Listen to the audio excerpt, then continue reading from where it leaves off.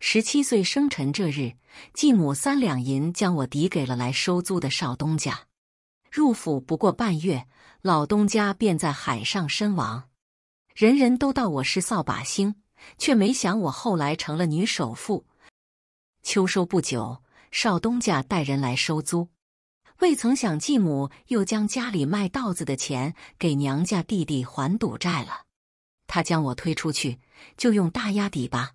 别看他瘦，干活麻利着呢。我看向父亲，他却避开了我的视线。他早就忘了吧？他曾在母亲的病榻旁郑重许诺，一定待我如珠如宝。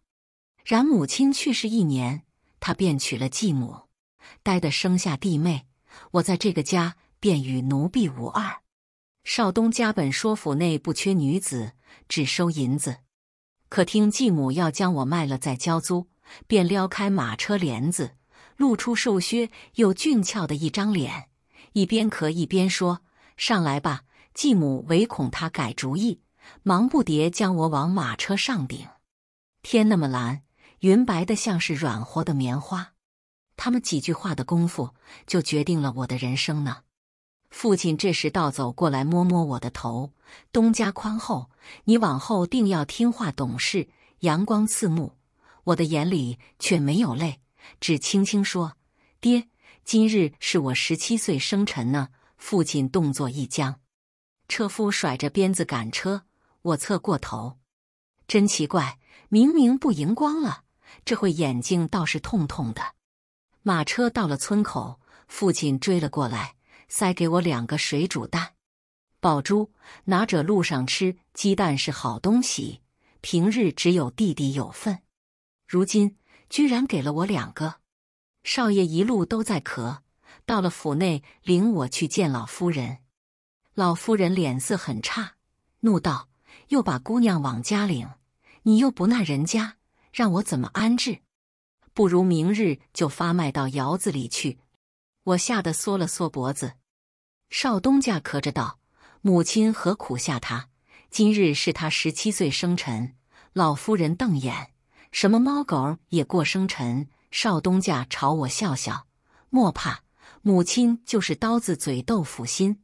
我被婆子带了下去，暮色一点点吞没万物，我心内惴惴不安。约莫小半个时辰，周婆子端着一碗长寿面进来，吃吧。夫人特意吩咐厨房做的，面条又白又软，满满的一碗，上面还有两个煎的金黄的荷包蛋。夫人瞧着凶，心地极好，少爷更是一等一的好人。你且放心待着吧。沈家极好，晚上可以去灶上打热水洗脸泡脚，被子轻巧又暖和。夜间奴婢们叽叽喳喳，我才知晓少爷收租，隔三差五就往家里带穷苦姑娘，管吃管喝，从不苛责。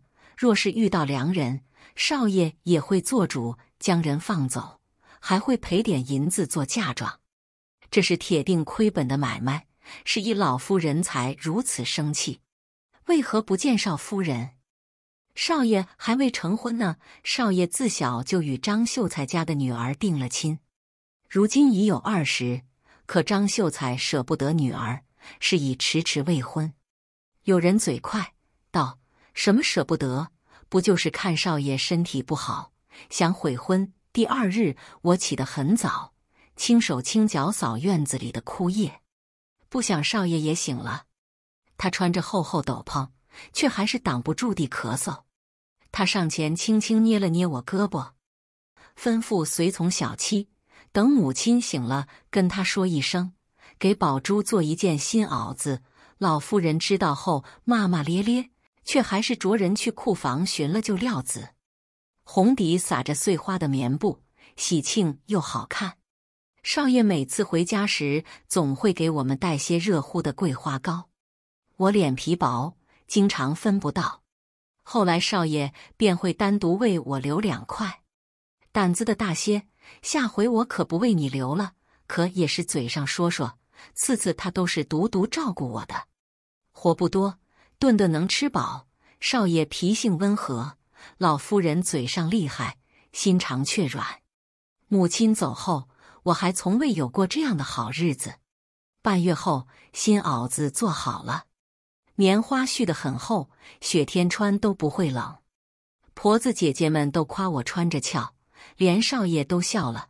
宝珠再养胖些，便真是富贵人家的小姐，阳光暖洋洋。我暗暗许愿，盼一辈子都如今天这般幸福。便在这时，大门被推开，老奴沈叔趔趄着扑进来，大喊：“夫人！”少爷出事了！半年前，老爷为人蛊惑，将全部家当带上，又借了外债去东海寻珍珠。珍珠倒是寻到了，可回来时遇到风浪，船在绥河处礁，老爷没了，珍珠沉了。沈叔沿着河岸找了三天，将老爷的尸体带回。老夫人惊闻噩耗，病倒，没两日也归了西。我很难过，为何好人总是不长寿呢？少爷身体本就不好，操劳双亲丧事后，更是瘦了一大圈。可灾难远不止如此。老爷和夫人刚落葬，一波波的人拿着欠条上门讨债，家中资产都被抵押，一应家具均被搬走。素日好吃懒做的二叔婶非但不相帮，还联合外人来欺压。头七一过，张秀才便上门退婚，只说女儿年纪大，等不了三年孝期。那一日天色昏沉，少爷将婚书还回后，整整一日都没出房门。追债的人堵在门口，要少爷将老宅典当。后又有人说，府内还有许多适龄女子，也可用来抵债。一时间人心惶惶。这日晚间。少爷将我们罩在一处，把卖身契还给了我们。他越发瘦了，手腕即可见骨。都走吧，如今待在府上，反耽误了你们。众人哭哭啼啼，收拾行囊离开。我已走到门口，回头见孤灯摇曳，他立在风中，似是一不小心就会折断。我眼睛一热，回身跪倒在他面前：“少爷，奴婢不走。”归家去吧，奴婢无家可归，此处便是奴婢家。话音刚落，继母冲了过来，瞎说：“母亲带你回家。”沈家的事闹得这般大，想来他也得了消息。他与后舅舅一左一右钳着我往外拖，我拼命挣扎，我不回去。后舅舅凶道：“我都收了张屠夫三两银聘礼，你若不回去，我的赌债怎么办？”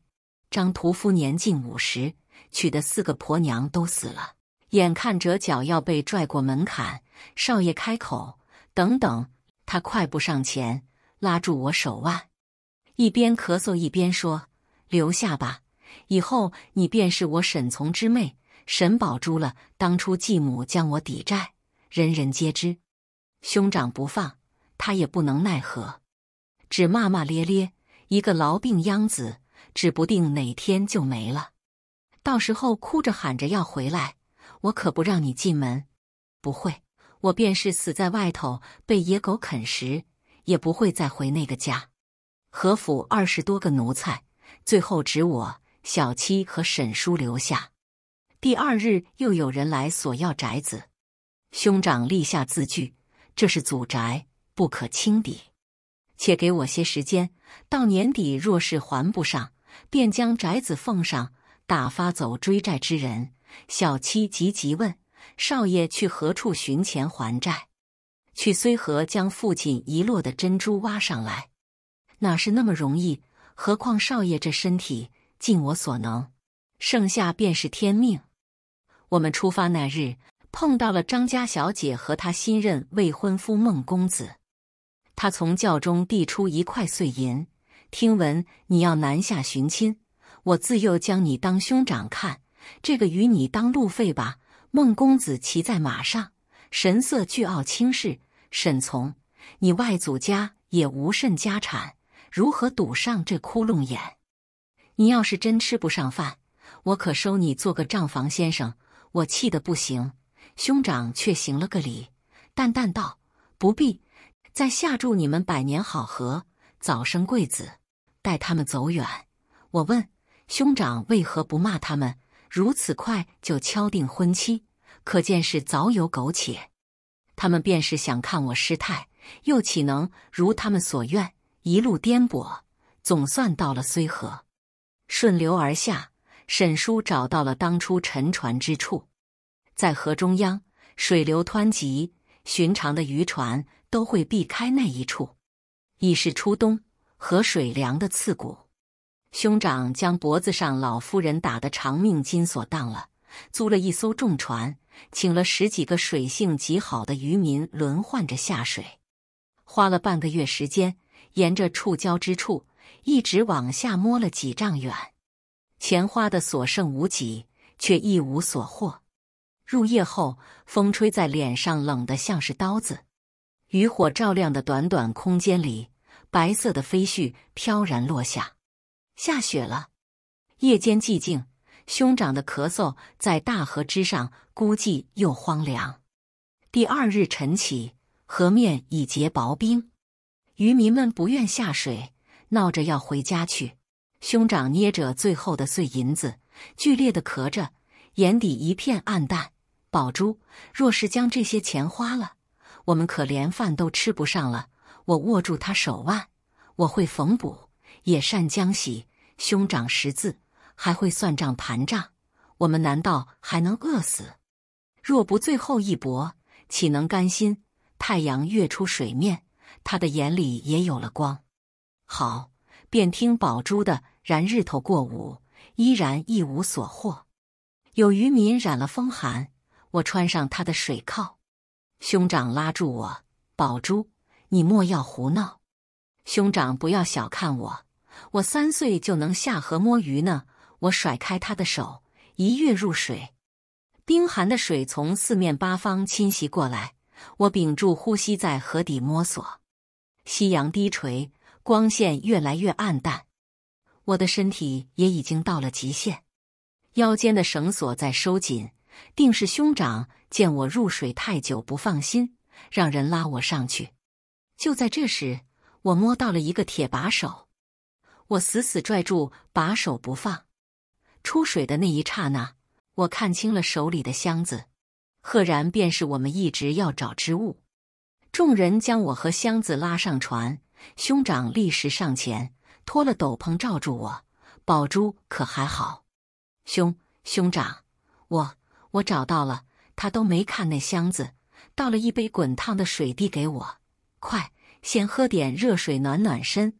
我就着他的手喝完水，晕过去的那一刻，看到他的指尖被杯子烫起了血泡，真傻，也不知找块布包着。我烧了好些日子，每一次睁眼，兄长都在身侧照料。后来我好了，他却整夜整夜的咳嗽，整个人瘦成了一根竹竿。老爷那一箱珍珠共有百颗之多，皇后酷爱珍珠。举国上下的有钱夫人纷纷效仿之。坊间有俚语：“一颗珍珠万斗米。”兄长在省城找了个靠谱的富商，一次性将珍珠兑出，独独给我留了一双最大的黑珍珠。你名为宝珠，可见他们命中注定就该是你的。他要将银票分与我们几人，可我们坚决不要。赶在小年这日，我们回了县里。去实行容落魄，回来却是新衫新衣。兄长还给我置办了全套的首饰。若是不知情的人看了，还以为我是富家小姐。入城的时候遇到了张秀才，他与几个同窗四是喝醉了，突然冲到路中央。幸亏小七技术好，不然就该撞上。兄长撩起帘子，微笑和他见礼。张世书，许久不见。张秀才揉着眼睛反复看，好半天才回：“沈沈从。”兄长点头，烦请世叔让让。马车要过，我们离开时，还听见张秀才大声嚷嚷：“我是不是喝多了，眼花了？你们都瞧见了吗？”到了老宅，正好撞上债主带人来相看，欲要将宅子出卖。见我们锦衣而归，债主们眼珠子都快掉下来。兄长拿出银票，将欠债一一归还，赎回从前的家具，又添置了许多新物。县里就这么大，消息很快就传遍，看热闹的人络绎不绝。很多从前的奴婢来找，哭着想回来。兄长看向我，宝珠后宅的事，以后都由你来拿主意。我有些踟蹰。他朝我笑，尽管去做，兄长永远支持你。那些当初急不可耐求去的，我一杯热茶，一些糕点打发了；稍稍迟疑就走的，我给了点铜板算赏钱。而挨到最后不得已离开的，我又重新招了回来，一共也就四个。兄长可会觉得我薄情？不，宝珠处理的甚好，也是经了这一轮，我才明白母亲当初所说“心过善”并非好事。一整天迎来送往，兄长始终带着两分笑，可我能感觉出这笑与从前不同，只有疏离与客套，并无真心。好容易夜色低垂，我疲倦不已，正要吩咐百善，一道婀娜身影踏雪而来，是张秀才之女张小姐。她摘下帽子，露出渲然若气的一张脸，朝着兄长飞奔而去。沈哥哥，真的是你？我还以为是自己听错，你没事真是太好了。我日日忧心，一直在等你。兄长皱着眉退后一步。小翠看不下去，大声道：“宝珠姑娘，晚上你跟少爷是在前厅用，还是在偏厅用？”张小姐朝我看来，温婉一笑：“听说这些时日都是你在照顾沈哥哥，辛苦了。你放心，我一定会纳你入府做妾，把你当亲妹妹看。”心猛地一缩，还未来得及细思其中缘由。兄长已将我护在身后，不急不徐开口：“张姑娘，我们的婚约早已取消。夜深风寒，多有不便，姑娘还是早些回去。”张小姐的眼泪滑落：“沈哥哥，一切都是父亲的主意，我也是不得已。其实我心中只有你一个，你我自小青梅竹马，难道你连一点情分都不念吗？”兄长静静看他。突然浅浅笑了，既你不要这最后的体面，那我便直说：若非孟家范氏被抄，你可会回来找我？若我落魄而归，你可还会提青梅竹马？若你父亲此次秋为重了，你会将我这商贾瞧在眼里吗？他一句又一句，毫不留情撕开张家小姐的假面。张小姐脸色煞白，眼泪如滚珠一般。可如今我家，我家境况，这个我已听说。张秀才最喜呼朋唤友，几个月前攀上孟家，又自认秋为有望中举，日日呼朋唤友，吃喝买无度。谁想孟家在京城的远亲范氏，连带着他们也遭殃。张秀才忙不迭退亲，东拼西凑将聘礼还回，且自己秋闱也落榜了。导致如今欠了一屁股债，我从袖中摸出半锭银子递上。如今我们能帮的只有这么多。张小姐一脸不敢置信：“沈哥哥，你便任由他这般侮辱我？何为侮辱？”我一字一句：“这银子是你当初要给兄长的路费五倍不止。”张小姐脸上最后一点血色退干净，只无限可怜看向兄长。兄长淡淡与他对视，道：“宝珠的意思，便是我的意思。要不要？在你张小姐犹豫挣扎，最后还是接了那五两银子，踏着风雪踉跄而去。兄长，你真的跟从前不同了。若是从前的他，恐怕心肠早软了。风雪大了，却掩不住他明亮的眼。若以德报怨，那何以报德？”若对他心软，岂不辜负你这一路以命相伴？天真冷，可心很暖。已是年节下，天冷路滑，我仍日日陪着兄长去找从前的债主。他想将抵出去的生意都赎回来。这日午间在外用膳，邻桌是一对年轻夫妇，小妇人娇嗔着讨要新首饰，男子一边埋怨他隔三差五买，一边将银袋子掏出来放在桌上，叮嘱道：“可不能买太贵的，还得留些银钱过年，真让人羡慕啊！”用过膳，兄长没急着上马车，反而带我跟着那对夫妇去了隔壁的首饰铺子。我以为他是想考察行情，不想他在店内看了看后，让掌柜的取出镇店的金玉簪。他素手执簪，插入我的发间，浅浅一笑：“这是给宝珠的新年礼。”那小妇人发出艳羡的低呼，不住的用胳膊捅自己夫婿。我脸色绯红。想取下来，这太贵重了，我不能收。兄长握住我的手腕，莫取，很适合你。宝珠该自信些，你看配饰兼至宝。我们离开时，那小妇人还艳羡的瞧着，真奇妙。明明小半个时辰前，还是我羡慕她呢。那簪子我日日戴着，只晚间入睡时取下来，仔仔细细收在枕头下。日子过得飞快，大年三十眨眼就到。何府的人都穿上了新衫，今年不宜着红，我便给兄长手编了红绳，也算是迎了新年。他手腕白又细，与红绳色泽相交，有一种说不出的美感。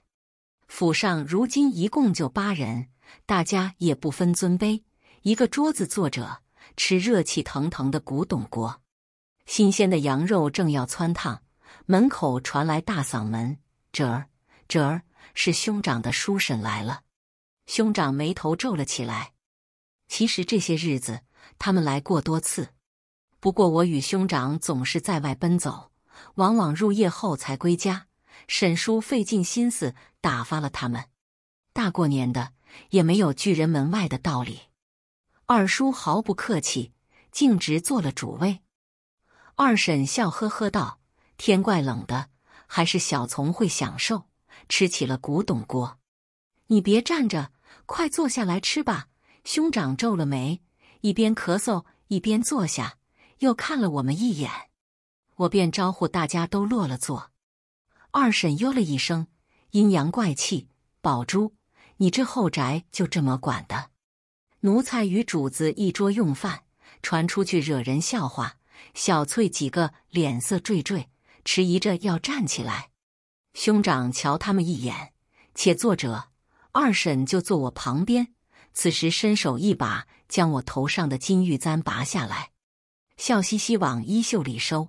你小姑娘家家穿金戴玉压不住，这簪子还是更适合我些。兄长冷了脸色。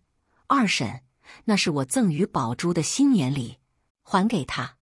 我瞧着喜欢，你回头再。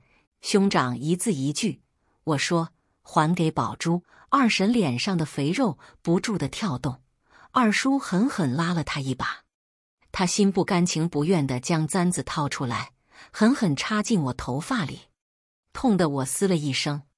兄长站起来，帮我将簪子重新插好，对我浅浅一笑，仿佛在说：“宝珠别怕，一切有我。”二婶嘴角抽抽，皮笑肉不笑的道：“小从，你家逢巨变，宝珠不离不弃，你心存感激，我们能理解。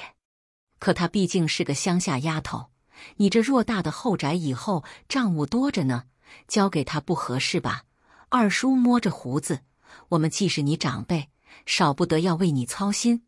以后这后宅之事，就交给你二婶吧。”兄长夹起一片羊肉，放入滚烫的锅中，一字一句，不敢劳烦二婶。宝珠做得很好，二婶吃道：“她一个野丫头懂什么？我可是你二婶，你难道要忤逆长辈？”羊肉已经变色，兄长捏筷子的手收紧，青筋暴起。大厨以孝治国，忤逆长辈这个罪名可不小。我默默吸口气，笑了。有一句话，老吴德少不孝，很适合二叔婶呢。之前沈家没落，你们联合外人掏空兄长家业，如今却好意思舔着脸说忤逆。我的确是个乡下丫头，乡下人最不怕丢人。明日便是大年初一，不若我走街串户，将二叔二婶昔日所作所为好好宣扬一番。堂弟过两年要考秀才吧？不知这样的爹娘会不会影响以后前途？二叔二婶的脸色变了，二婶满脸肥肉都气得在抖。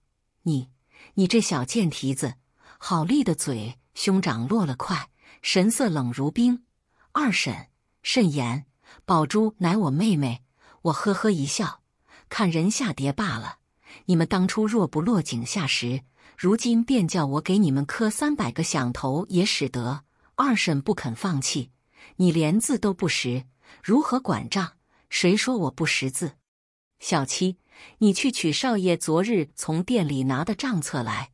小七取来正负账册和两把算盘，便以此账册为赌，谁先将账目算清，谁便管后宅。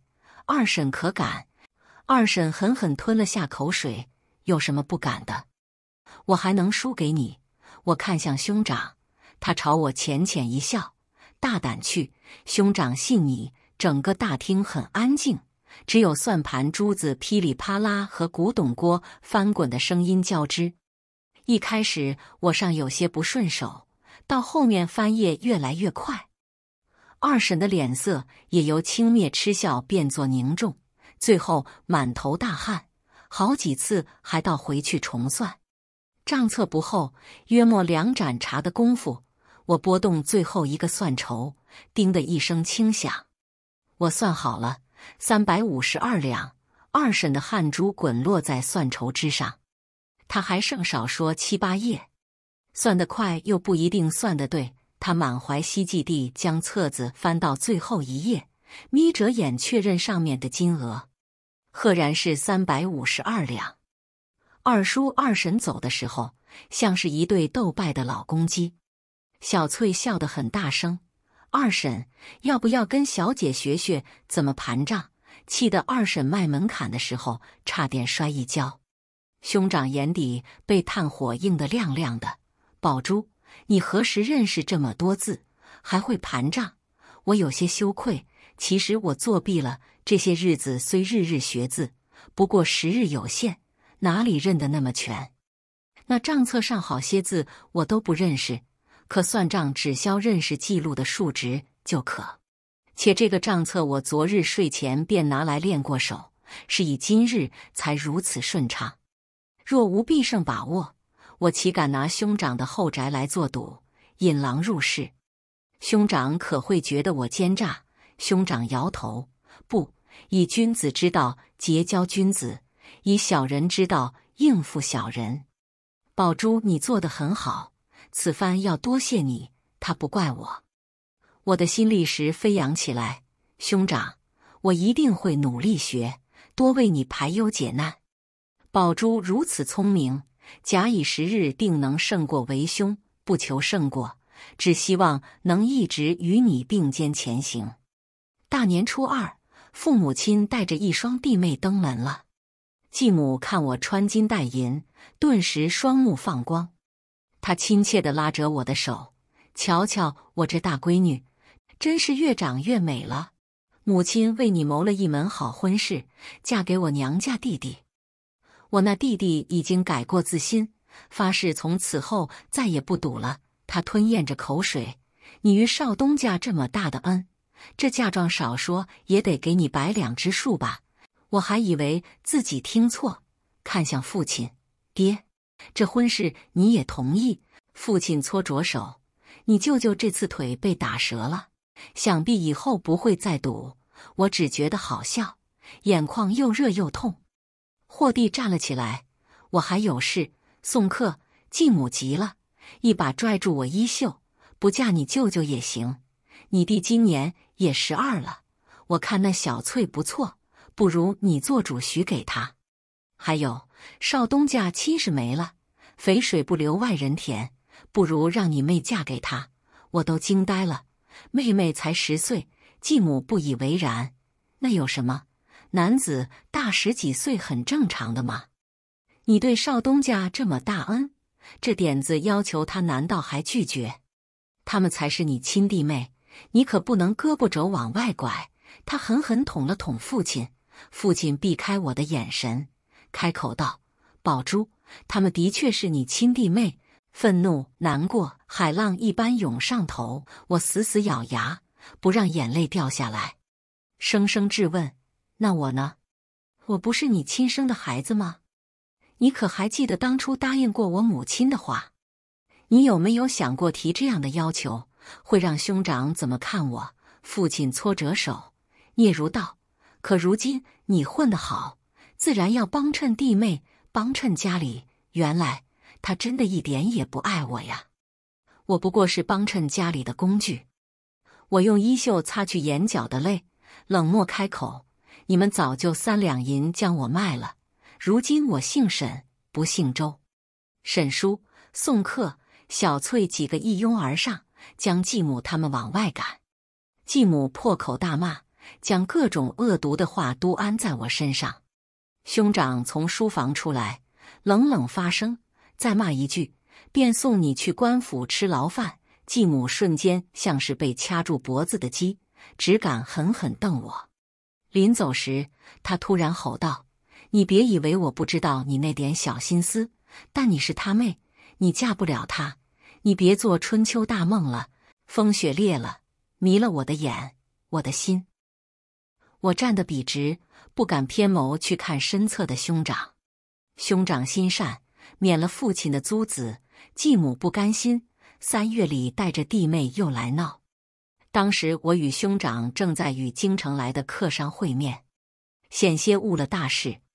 他砸了店里一个古董花瓶，我便报了官，吃了半年的牢饭。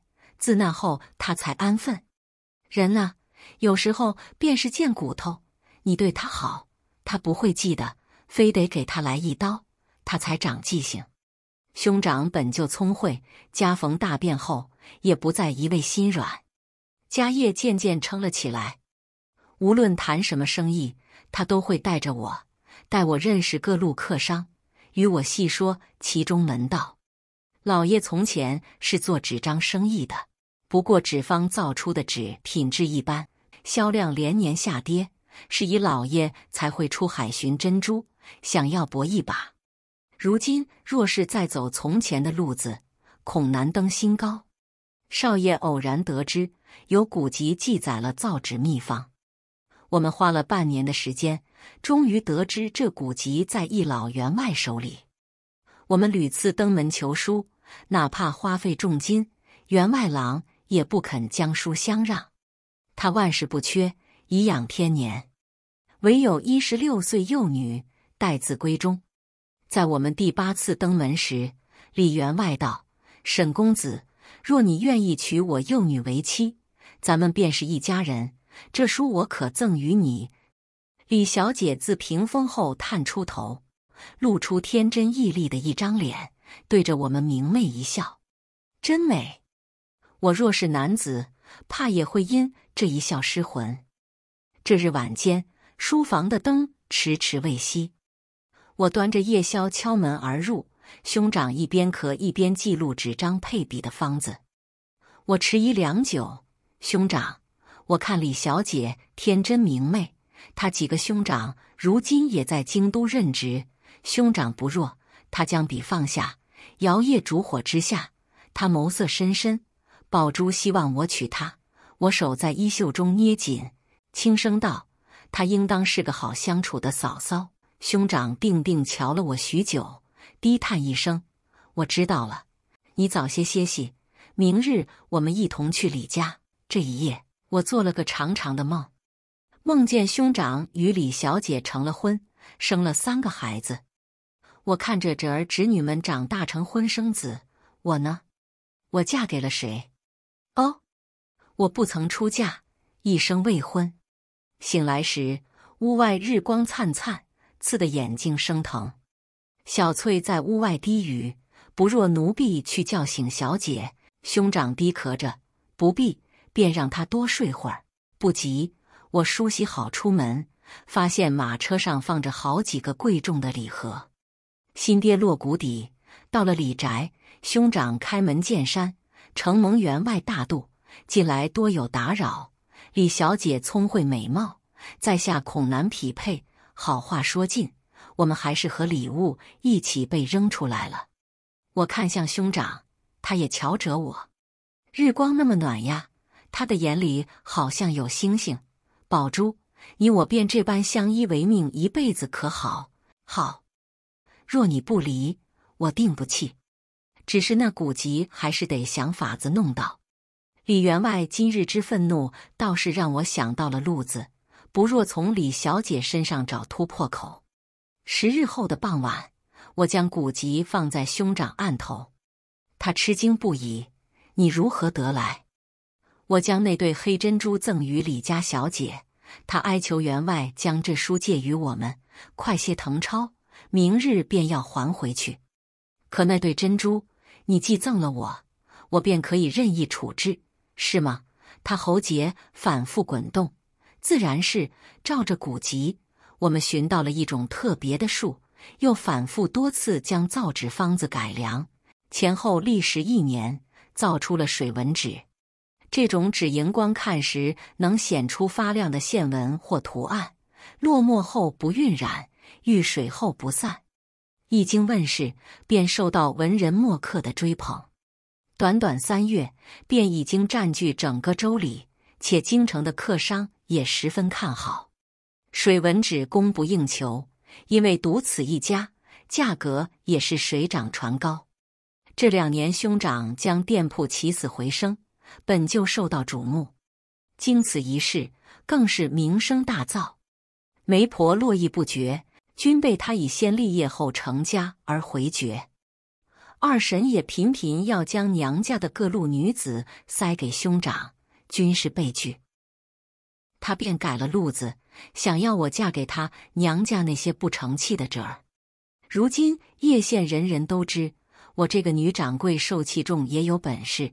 出嫁时，沈家定会赔上铺面银钱，我自是拒绝。二婶多次明里暗里说我不识趣。这一日是中秋，二叔二婶叫全了族里的人，说是要吃团圆饭。我们本不想去，可族长和族里几个祖父辈的长辈都在，不去应个毛，恐被唾沫星子淹死。不成想这是一顿鸿门宴。饭吃到一半，二叔摸着胡子道：“宝珠到沈家也快三年。”小从，你一直说她是你妹妹，却迟迟未给她上族谱。今日趁着族里的老人们都在，便将宝珠上了族谱，正正式式的做个沈家姑娘吧。我心里一个咯噔。上了族谱，我与兄长便是真正的兄妹。若有暧昧，那自是天理难容。合桌热热闹闹，二婶凑到我耳边，低声道：“我算是瞧明白了。”只有把你的名分定死，我才好安排小从的婚事。这一回，我倒要看他要怎么护你。兄长迟迟未应声，二叔催促道：“宝珠真心待你，你莫非又不想认这个妹子了？”一干长辈七嘴八舌，二婶已经将我拉起来，笑着说：“择日不如撞日，现在便去祖宗祠堂拜一拜。”一会儿，族长将宝珠的名字添上族谱就行。我的心提到了嗓子眼，兄长咳嗽着站起来。二婶提议甚好，只可惜晚了一步。什么晚了一步？兄长向小七示意，小七递过来一个盒子，里面装的是一本族谱，不过是王家族谱。去岁带宝珠去州里遇见了舅舅。舅舅与宝珠一见如故，坚持要认宝珠做义女。如今已经上了王家族谱，二婶被这消息砸懵了，一把抢过族谱。这是何时的事？你怎么也不说一声？兄长清凌凌瞧着他，我母舅家之事，还需告知二婶。二婶的手未免伸得太长，她放下筷子，脸色如撒了冰。这几年族里该给的祭祀香火，我不曾少过，并非我依恋着当初弃我家于不顾的宗族，不过是减少麻烦且维持一点体面。但你们若就此拿着长辈做派管这管那，那就别怪我近来生意周转困难。年底恐怕是没钱孝敬祖宗。这话一落，那些长辈的脸色巨变。他们可都是盼着年底兄长的孝敬钱，族里的学堂也都是兄长在养着。族长被如此下脸子，几个呼吸后依旧调整起笑脸。我们也是一番好意，想着给宝珠证明。他拉长脸：“老二、正娘，叫你们多管闲事，还不跟小从道歉。”二婶满脸不甘。族长一拍桌子：“怎么，我的话不管用了吗？”二叔、二婶脸色难看，一字一字的道歉，一张脸憋成了猪肝色。兄长拉着我手腕站起来：“饱了，我们先走了。”走到门口，明亮日光笼了他一身。他对着坐在暗处厅堂里的族中众人道：“莫来烦我，你们便是我宗亲。”那些老头气得胡子直抖，却也不敢说什么。不仅因为兄长每年的供奉。更因为如今兄长交友广泛，结识的达官贵人不少，族长也极为忌惮。除了二叔家，兄长语气迟疑，事情紧急，未与你商量，便将你落在舅舅名下，你可会？我摇摇头，都听兄长的，我高兴还来不及，岂会怪他？何况这其中还有我的谋划。二叔二婶频频作怪。明面上也不好断绝关系，免得叫人议论。可为了杜绝以往被刺的事情再发生，我便使了点小钱买通了二婶院子里的婢女。那婢女前些日子递了消息给我，说二婶想在中秋家宴上提为我上族谱仪式，定了我的位置，再将我嫁出去。兄长后宅空虚，便会想着娶个夫人管。到时候他便可左右腾挪。我得了这消息，哭坐了大半晚。后来便让那婢女假装不经意将消息漏给了兄长。当初是兄长三两银救我出火坑，如今他若是顺其自然让我上族谱，我也没有怨言。好在虽事出紧急，他依然想到了解决的法子。我依然是他妹妹，可又。与从前不同，小翠胆子一向大。这日晚间问少爷：“今日如此强硬，族长他们会不会为难？”要知道，两年前未免二婶将不孝的帽子扣上，我可是费尽心机定下算账赌约的。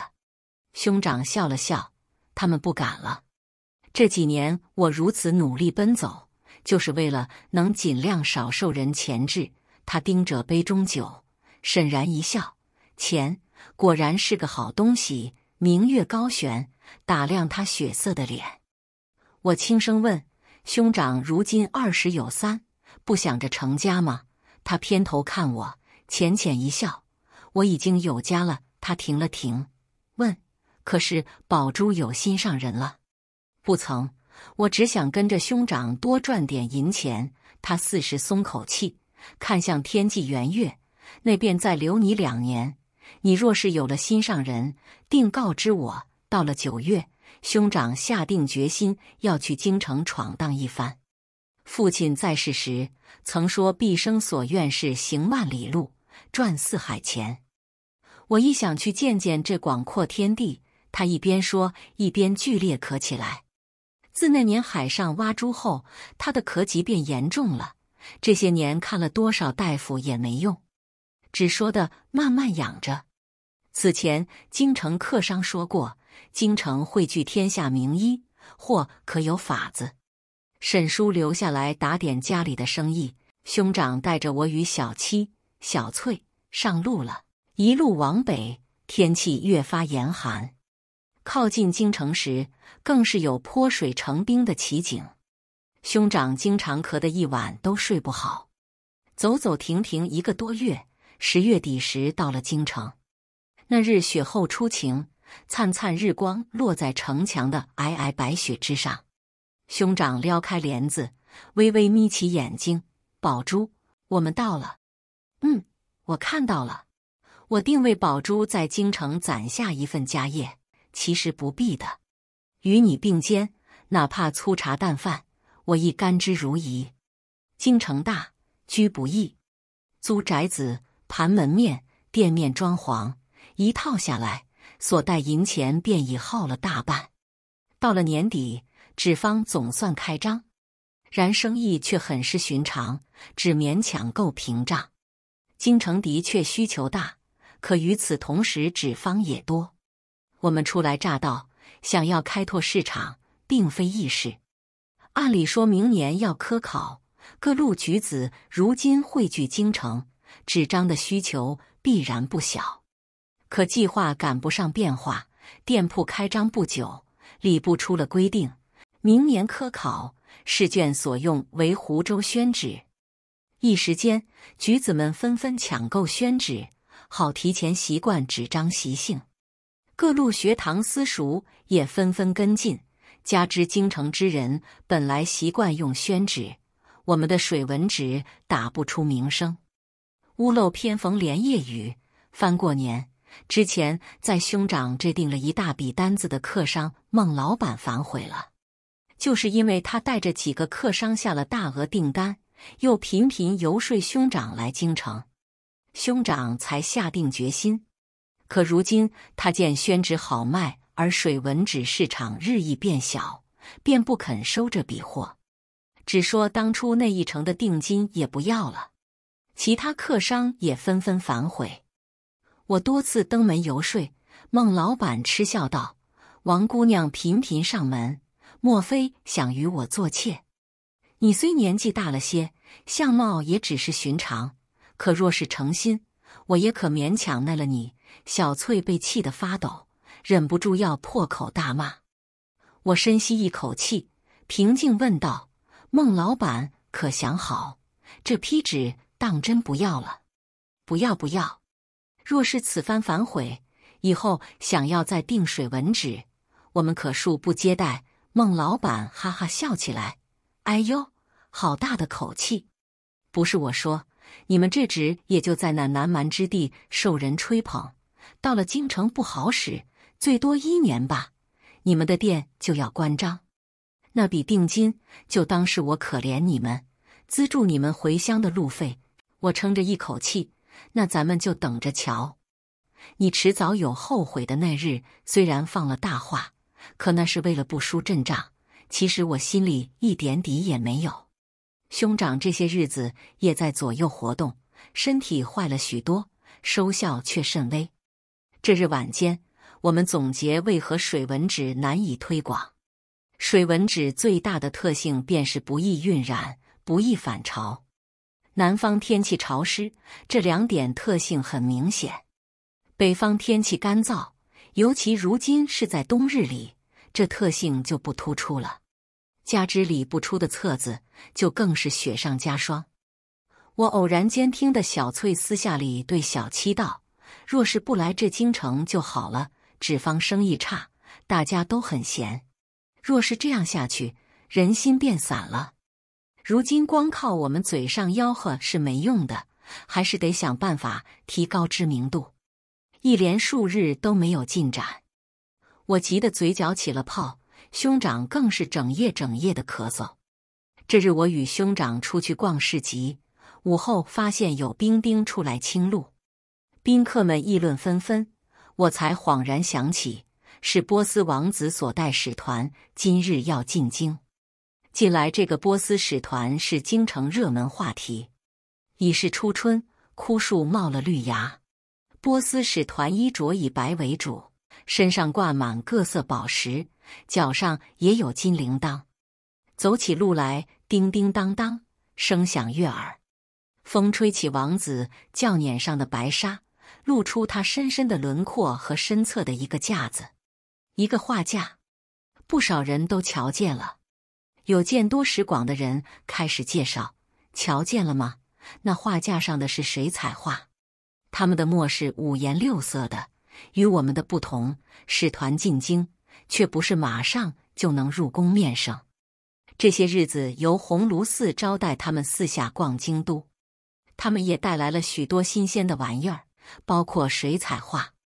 不同于我们传统的画卷，水彩画色泽鲜艳，笔下所绘之物栩栩如生。翠鸟一根绿色的羽毛，竟分出了三个不同的层次，端地是让人惊叹，连兄长都啧啧称奇。异域文化果然是让人大开眼界。王子常年戴着白色头纱，由一队兵簇拥着，远远就能认出。他极爱作画。这一日，我们在北桥遇到他，他正支起画架，准备画河岸绿柳以及远处朦胧的寺庙。虽有兵士围着，可还是有许多人瞧热闹。大家都想看看这色彩浓郁的画到底是如何得出。王子运平一张纸，将极细的毛笔染上去，一笔一笔，从日出到黄昏，一幅垂柳图已成。葱绿嫩芽点缀在暗沉垂条之上，越发显出生命之美。我与兄长一直看着他作画，也听得看客们议论纷纷。说王子会在陛下接见之日，为陛下做一幅人像画作为献礼。我与兄长对视一眼，看到了机会。当日，我们便从各家纸坊都买了些宣纸，又买了波斯商人售卖的颜料粉。回去后，兄长按照波斯王子之前的手法，将颜料粉加水调过后，画在买来的各色纸张上。果然，无一例外。全部晕染了，不过是晕染大小的区别。今日看王子作画，我便发现他所用的纸并非我们这里的任何一种纸张，应是他从波斯所带。而他的脚边还有几张随意卷起，像是用过的宣纸，极有可能他曾试图用宣纸作画，可宣纸会晕染颜色，所以他只能换成自己从波斯带来的纸。兄长用绿色的颜料在水纹纸上勾勒出细细的柳叶，等待如此漫长，约莫半盏茶后，颜料已经干透，纸上却一点不曾晕染。我与兄长对视一眼，大喜过望。我们一直在找的机会来了，只要让波斯王子认可我们的纸，水纹纸的销路说不定就能借此打开。我们兴奋的一夜未睡，第二日一早去驿馆求见，却得知陛下已定下后日接待波斯使臣，使团这两日闭门谢客，安心准备。回去的路上，我很沮丧。兄长抹撒着茶杯，宝珠，若是咱们的只能在宫宴上露脸呢？若是那样，我都不敢想。可我们哪有机会将纸送进宫？倒也不是全无机会，或许可以求助一个人。我万万没想到，兄长带我去见的会是李小姐，李员外之女。不，如今该是李夫人了。那一年兄长拒婚后，他次年便来了京都，认识了如今的夫婿。夫婿在宫里禁卫军当差，由他引荐，我们见到了负责采买纸张的莫公公。他摸着我们呈上的水纹纸，皱了眉。宫里的东西，每年年底都要定第二年的供应者，如今是不好改呀。兄长推了一沓银票过去，这我自然知道，也不叫公公为难。我家的水纹纸最大的好处便是不晕染，就连王子殿下的水彩画也承得住。公公且带些回去试试，或许用得上呢。若是能得宫里认可，将来公公便是在下的指路人，在下必定忘不了这份恩情。最终，公公将纸张和银票一起收了。回府的路上，我心事重重。兄长，那是我们最后的家当了。若是此番不成，宝珠，你记得那年挖珍珠，你与我说什么？记忆之门打开，若不放手一搏，岂能甘心？兄长笑了。如今便是我放手一搏，若是搏输了，宝珠可会怨我？我摇摇头，怎会？不管兄长做什么，我都支持兄长。很快就到了陛下接见使团的日子。这一日，我早早便起了，卓小翠给我好生打扮一番。小姐今日是要出门吗？不是盼着有人来唤我出门去用早膳，发现兄长也穿着一身新衣，我们对视一眼，会心一笑。然而一直等到暮色四合，依然一片寂静。我勉强打起精神，吩咐摆膳，便听得一道尖细嗓音：“沈公子可是住在此处？是莫公公。”他满头热汗，快快快！陛下想见你，随我入宫吧。兄长牵起我的手，宝珠，咱们一起去。去皇宫的路上，莫公公与我们说起此前宫内情形，以便我们做出应对。今日王子觐见，按之前所定，给陛下画画。此画必然是要流传百世，那自然要用我们大楚自己所造的纸。然内侍一连拿了好几种，都吃不住王子的彩墨。陛下那个脸色哟。莫公公说到这，擦了把汗。奴家当时可是顶着丢脑袋的风险，把这水纹纸推上去的。兄长语气诚恳：“公公大恩，定不相忘。水纹纸色泽洁白，不晕染，与彩墨相得益彰。王子殿下的画技也是传神。”陛下这才云开雨霁，龙颜大悦。王子殿下觉得纸张不错，问起工艺，陛下便召兄长入宫回话。几年前，我只是乡野之中一个小丫头，想着如何能吃饱穿暖，都不知明天在哪里。如今托兄长的福，我竟然能见到当朝陛下，这足够往后我跟子子孙孙吹牛了。陛下威严却又和善，兄长本就爱读书，这些年阅历也不少。一开始尚有些拘束，几句话之后便应对自如。陛下也问了我几句，官场上那些我都不懂，我便将他当成前来问询的客商，如实作答，已成动人。埋头答话时，我一直感觉有人盯着我瞧，这可是皇宫。我也不敢去寻那双眼睛，直到陛下让我们抬起头，我便听得一声低呼。陛下问尹爱卿：“这是怎么了？”便有个官员站起，道：“陛下恕罪，微臣失态。刚才王姑娘进来，我便觉得有些眼熟。陛下也知，微臣出身贫寒，当年上京赶考，半路被小贼偷走包袱。”幸得好心人相助，才凑够盘缠。这些年我一直在寻当初恩人，没想到天大地大，竟通过陛下重逢，可见是天恩浩荡，福泽世间。说着，那位年轻的官员朝我看来，我细细辨认，也是惊讶，原来是你。那还是三年前的事了。我们在绥河捞起珍珠，因为染了风寒。便在客栈里休息了大半个月。有日听得外面吵闹不止，原来是店家要赶一个生病的书生走。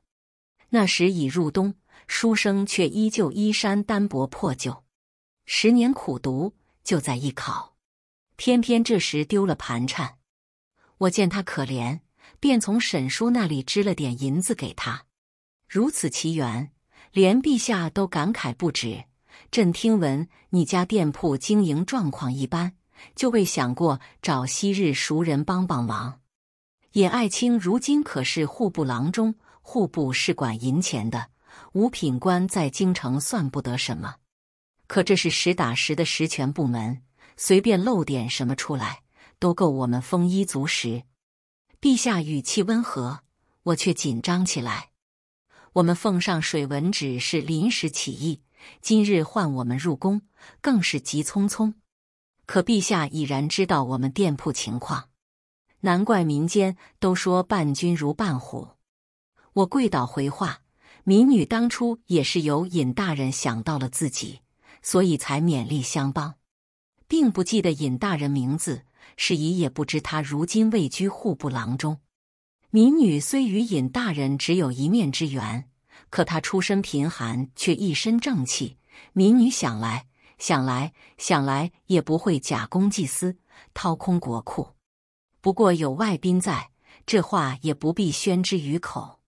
陛下笑了，深深看我。虽是个商女，倒也有眼光，有见识。你帮朕保住了一位人才，朕应该赏你。一直端坐的皇后娘娘这时开口：“陛下，王姑娘已过二十，尚未成婚。”我心中大骇，不会是像戏本子里说的那样，要给我赐婚吧？我只得拼死拦下话头，狠狠磕头道：“民女大胆。”想求皇后娘娘恩典。皇后兴致盎然，哦了一声：“你想要什么恩典？说来听听。”我舔了舔干涩的唇，深吸一口气，与她对视。民女，民女很喜欢娘娘头上那个珠子。民女名唤宝珠，不知可否赏赐给民女？皇后深深瞧我，又与陛下对视一眼，轻笑道：“真是个聪慧又大胆的姑娘。”她示意一旁的嬷嬷将头上的珠钗取下，既你喜欢，便赏你吧。陛下赏我们在宫内用过晚膳再回。晚膳是在偏厅用的，菜色与宴席一般无二，很多都是外头吃不到的，倒是开了眼界。我也不敢多吃。兄长瞧着心事重重，菜也没吃两口。离开时遇到皇后娘娘，正好出来更衣。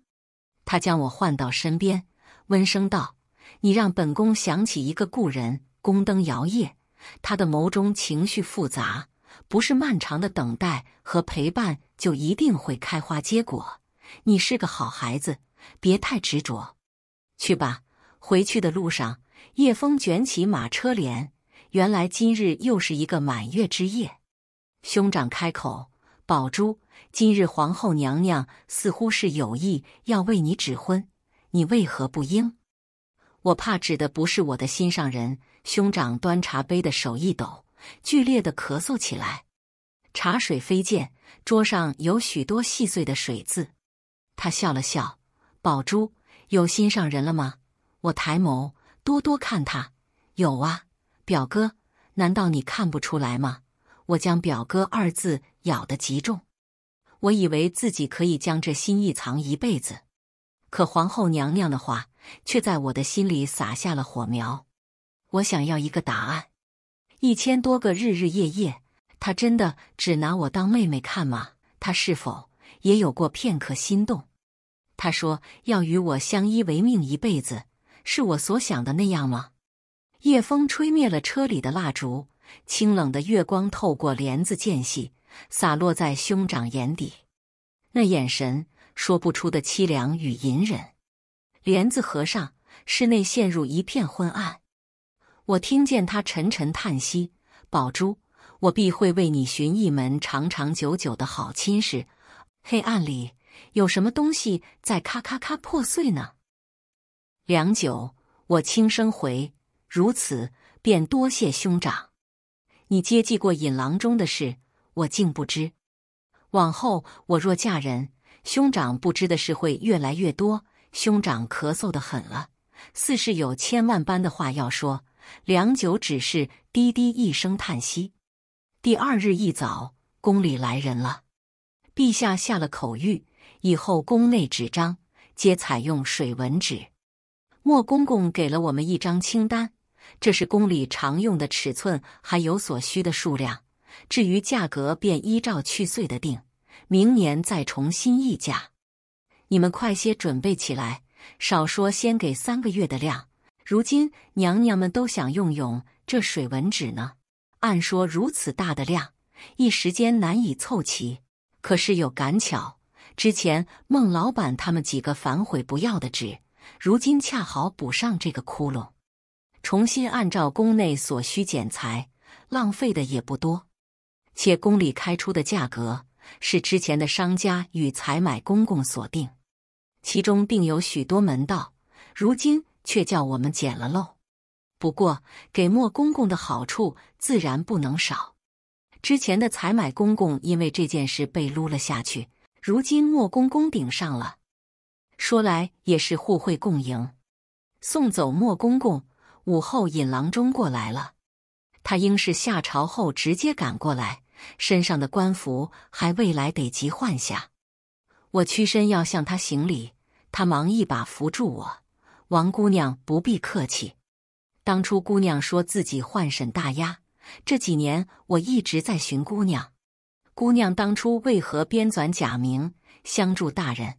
本就不为求报答，不过是我曾被兄长拉出泥泞，想将这份希望也传递出去。”尹松怔了怔，旋即笑了：“我早该猜到是如此，好在老天眷顾。”你我又重逢了。他离开时，正好碰到从外归来的兄长，真有意思。他明明是个官，却对兄长颇为客气。兄长素来含笑，今日却冷着一张脸，不太待见的样子。两人寒暄后作别，兄长将小七手里的食盒递给我，朱雀街买的杏花酥，趁热吃。我盯着那个食盒好一会，然后笑了。真巧，刚才尹大人也给我买了杏花酥，我这会吃不下了。兄长留着自己吃吧。兄长捏食盒的手紧了紧，他倒是会琢磨那一盒杏花酥，兄长没吃，他一向不爱吃甜食，最后放凉了，被小翠和小七消灭了。人生际遇如此妙不可言。半月前，我们的境况还在谷底。为了生存下去，辗转挣扎，哪怕说破口舌，大家也不认可水纹纸的好。如今，水纹纸成了御用纸，且在宫宴上大放光彩。我和兄长还面了圣，得了赏，这样的殊荣，其他纸坊可从未有过。一时间，跟风也罢，好奇也罢，纸坊门庭若市，客人络绎不绝。人人都想求一张水纹纸，纸坊昼夜不停，产量都跟不上。兄长修书回老家，让沈叔速速着人送货入京城，解燃眉之急。这一日，孟老板带着当初退货的几人上门了。他好像全然忘了当初种种，笑呵呵打着招呼，说要大批量求购水纹纸。沈老板放心。这纸我们不在京城售卖，主要往北边送，不会跟你们竞争。这价格好商量。当初他对我出言相辱，如今却要舔着脸上门求购，点头哈腰，嘴里全是说不完的好话，还真有些解气。兄长与人为善，但笑者相迎，这就是商场，没有永远的朋友，更不会有永远的敌人。两人已经准备谈价，可听得孟老板跟我致歉说，当初孟浪后，兄长变了脸色。他豁然站起，脸色冷若冰霜，送客。孟老板一行几乎是被赶着出了纸坊。小翠很解气，让你们当初侮辱咱家姑娘，现在咱有钱也不给你们赚。兄长喉结滚动，问他那般无状。当初你为何不与我说？不是什么大事，做生意难免被人说几句，我没有放在心上。兄长手上青筋暴起，嗓音也阴哑了。对不起，是我没有护好你。春光灿灿，他脸色的懊恼、担忧如此真切。我轻问：“我是你妹，你不可能将我挂在裤腰上，护我一辈子，对不对？”良久。他眼眶发红，是我无法护你一辈子，到底是哪里出了问题？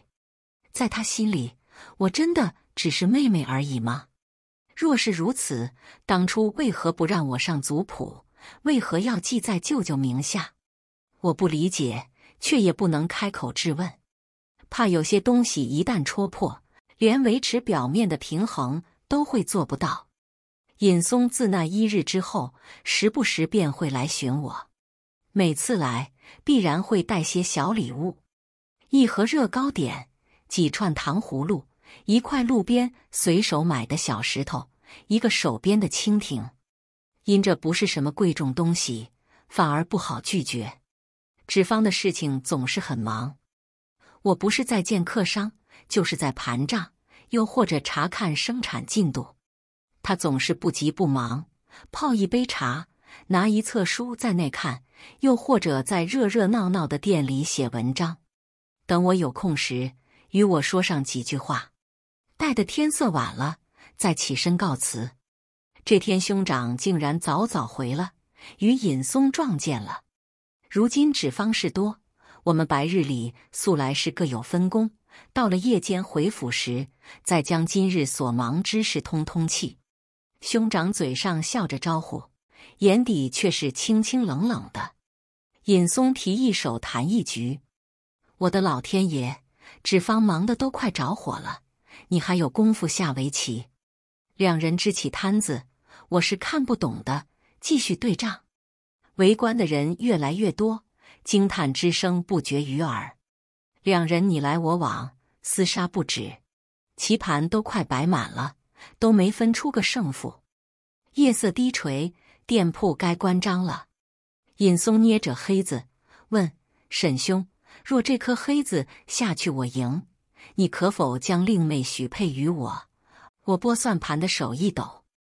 算盘珠撞击，发出刺耳声响，乱了，又得重算。兄长捏紧手里白子，看热闹的人们纷纷嘻嘻哈哈。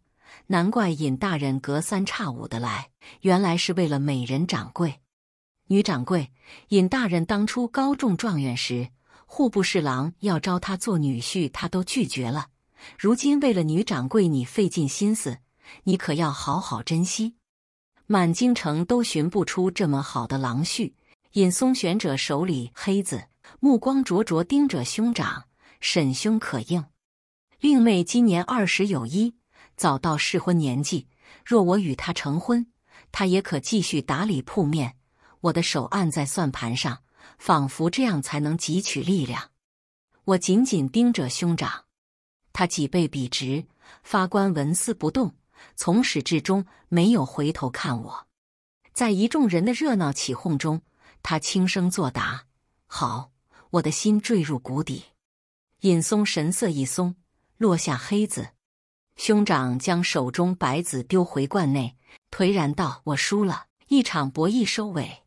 人人恭喜我往后是郎中夫人。”尹松也是笑意盈盈，唯有兄长久久坐在那。对着那一盘棋局，默然无声。我们之间只有十来步的距离，可我却觉得从此后，我与他之间有跨不过去的鸿沟。看热闹的人纷纷散尽，尹松走到我面前：“宝珠，你可以送送我吗？”从店内出来，五月底的风吹在身上，我竟生生打了个哆嗦。宝珠，我要娶你，你并不高兴。你从未问过我的意见，月凉如水。他笑了，因为我知你心不愿。他从衣袖中掏出一颗白子，放在我手心。刚才那一局，你兄长本有机会赢的。我给了他选择，他成全了我。尹松握住我的手，那颗白子如火一样灼伤我的掌心。是他放手了，所以宝珠，跟我走吧。我抬眼看他。眼泪在眼眶里打着转转，我可能永远都无法爱上你，你不在乎吗？我的心那么小呀，只能住得下一个人。从他将我从继母手中抢过来，说以后我就是他妹妹开始，我便已经将整颗心都交给了他。尹松伸手拂去我眼角的泪，你今年不过二十有一，一辈子还很长，现在说这些为时过早。再说，这世上的恩爱夫妻本来就少，有我爱你，也足够我们共白头了。且安心在家等着，我不日便来下聘礼。我目送尹松的马车离开，一回头看到兄长站在长街之尾，夜风翻卷，吹起他杏色衣袍。他遥遥与我对视，剧烈的咳嗽起来。他又瘦了，仿佛下一秒。便要乘风而去，我快步上去，厉声质问：“为什么要同意？”他年少有为，心性极佳，你们又有前缘，实为良配。清冷月光照亮我的脸，我眼泪滚滚而来，一字一句：“可是阿从，我的心上人只有你，你真的不知吗？”他拿帕子捂住唇，压抑着不让自己咳出来，应道：“宝珠。”我一直只拿你当妹妹。月色被乌云笼住，我眼里的光也彻底熄灭。苦笑一声：“好，我知道了。那便如兄长所愿，我的命是兄长救的。兄长让我嫁谁，我便嫁谁。回去后，我病倒了，高热不退，一如那年从绥河被捞上来后一般。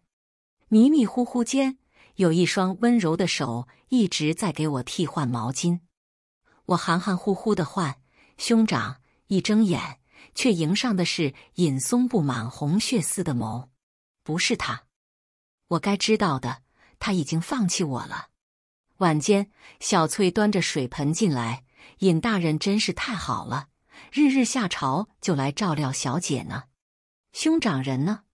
少爷这几日忙得脚不沾地，一直在见客商，不过睡前都会来瞧瞧小姐。小翠拧了帕子给我擦脸，小姐，要么就这样吧。尹大人挺好的，少爷他他应该是心里没有你。原来所有人都知道我喜欢他。第二日，尹松再来，我道不是说要提亲，何时来？他眼中光芒大炽，明日，明日便来。东西我早就准备好了。这日夜深，兄长悄悄到了我床边。